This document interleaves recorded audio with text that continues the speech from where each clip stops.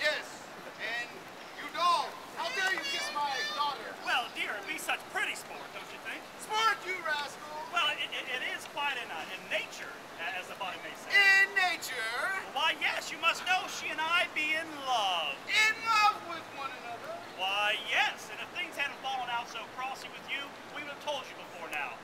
But you, being so bothered with money, and me without a penny in my pocket, we decided we would keep our minds uh, to ourselves until I had made my fortune.